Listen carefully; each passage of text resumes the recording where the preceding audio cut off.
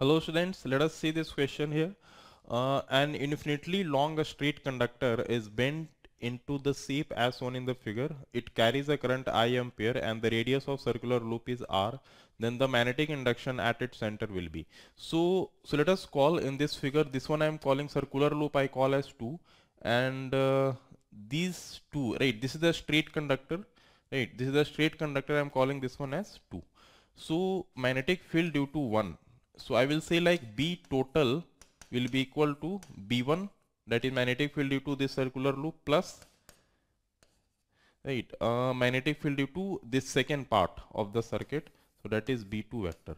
Now B1 vector will be equal to this is a circular loop so that will be mu naught I upon 2R okay and uh, since right if you will write the direction of magnetic field will be into the uh, plane of paper. So let us call this one as this into the plane.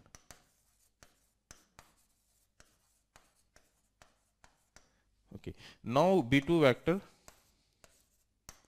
So the, the 2 is the straight conductor uh, that is the infinite straight conductor here. So due to this infinite straight conductor magnetic field will be mu naught I upon 2 pi and the distance of this point center from this second part of the element right the second element is r because this distance is nothing but a small r here. So mu naught i upon 2 pi r.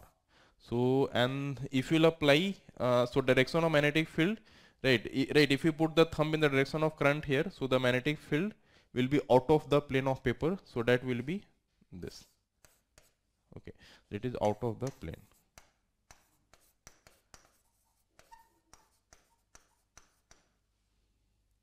So into the plane of paper, uh, right, let us right, say, so this is the exact symbol into the plane of paper.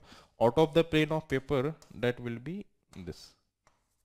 This is the mistake here. Into the plane of paper, that is the cross, and out of the plane of paper, that will be this dot one. Okay. Now I need to add these two vectors, so I will get the B total here. So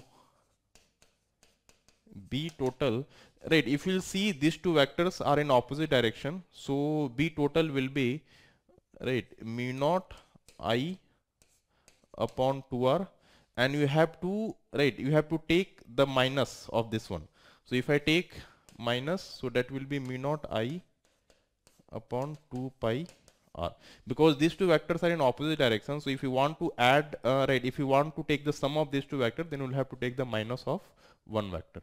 So mu naught i upon 2r is taken as common and that will become 1 minus 1 upon pi. So that will be mu naught i upon 2r and this will become pi minus 1 upon pi. So let us see which option is matching here. Right, if you'll see mm, this pi minus 1, pi minus 1 is okay. Right, this is 2, 2. So in the denominator it is, right, in the numerator it is mu naught i, so mu naught i and this is 2 pi r. So option B is matching. Okay students, I hope you understood this question.